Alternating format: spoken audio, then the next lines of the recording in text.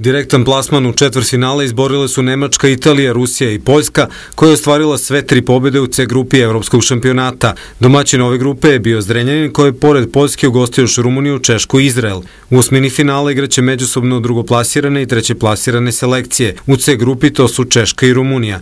Od daljeg takmičenja se oprostio Izrael, koji u kristalnoj dvorani nije uspeo da ostvari ni jednu pobedu. Mala uteha devojkama iz Izraela bila je poseta izraelskog ambasadora u Beogradu Jozefa Levija, koji je posle utakmice bio i gost gradonačelnika Zrenjanina Milete Mihajlova. Mislim da organizacija je bila na vrhunku, na vrhu, da smo dobro organizovali ovo takmičenje, svi naši takmičari su izuzetno zadovoljni, pa kao i obično što to radimo u Zrenjaninu. Zrenjanin je bio odličan domaćin C grupe Evropskog šampionata. Predstavnici od Bojkaškog saveza Srbije ističu da su imali maksimalnu podršku i da je Zrenjanin još jednom potvrdio da je grad sportova. Ovo je kao kruna celog ovog rada koji smo imali u poslednje dve godine, pre svega sa lokalnom upravom u Zrenjaninu, onda sa ljudima koji rade u dvorani, takođe sa klubovima iz Zrenjanina i okoline, pre svega Kleka, kao i sa sudijskom organizacijom e, Zrenjanina koja je deo od Bojkaške federacije. E, kažem, kruna svega onoga što smo uradili u prethodne dve godine, budući da su ovde bila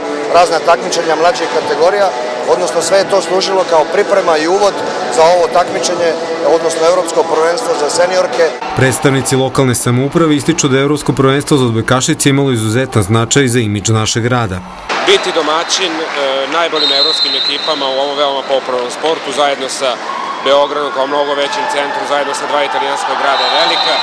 Stvar vidite sami da nije ni mali broj gledalaca bez obzira što ne igra Srbija, da imamo navijače iz Rumunije, i e, Poljske, je atmosfera sjajna i još jedna prilika da, da grad Zrenjanin pokaže da voli da ima gosta sa strane. Ovo je već šesta sportska manifestacija ovog karaktera znači evropskog, koja se ove godine održava u našem gradu i to je zaista velika prilika ne samo da se sportski pokažemo, što mi u svakom, u svakom pogledu sigurno i jesmo uradili, međutim ovo je prilika da pokažemo i sve svoje druge potencijale, i ekonomske, i privredne, kulturne, turističke i ostale. Posle prve faze najbolji timovi nastavljaju takmičenje u Beogradu. Seniorke Srbije su sinoć pretrpele prvi poraz na evropskom šampionatu. U trećem meču A grupe Nemačka je triumfovala sa 3 prema 1. Srbija će u sredu 28. septembra igrati meč osmine finala protiv Rumunije od 17 časa u hali Pionir. Polufinala su na programu u subotu u Beogradu od 17 časova i od 20 časova. Meč za bronzu je planiran u nedelju od 15 časova, a finale u nedelju od 18 časova takođe u Pioniru.